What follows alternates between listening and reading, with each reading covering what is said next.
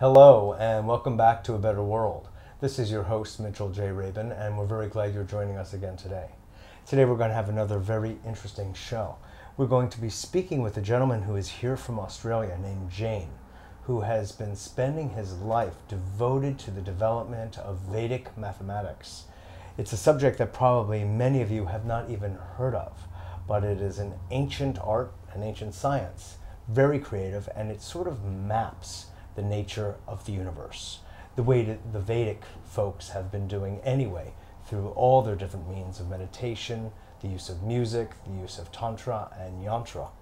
So here, with the use of mathematics, Jain is teaching students, children really, from all over the world how to enjoy mathematics, how to relate to the idea of geometry and shape in a way that perhaps they've never done before, and make the entire enterprise of mathematics exciting, creative, enjoyable, and basically he is virtually breeding a new population of mathematical, if I may dare say, brilliant and maybe even geniuses.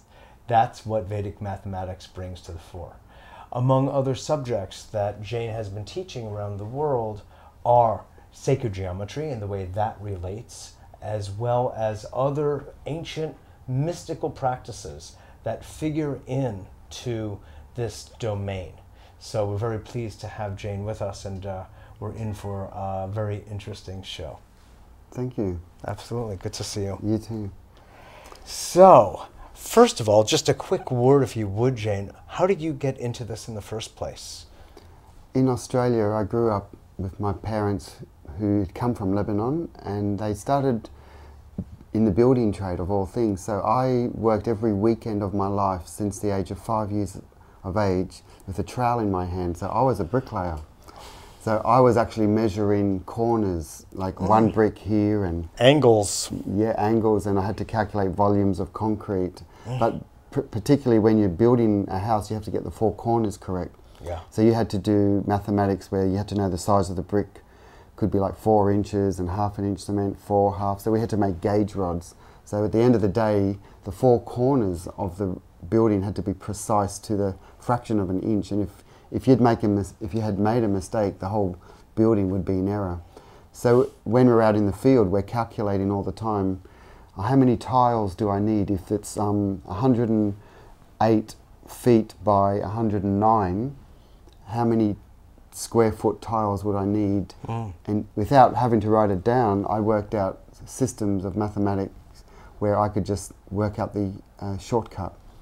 So in, in my head, I could say 108 times 109 would be 109 plus the 8, which is 117.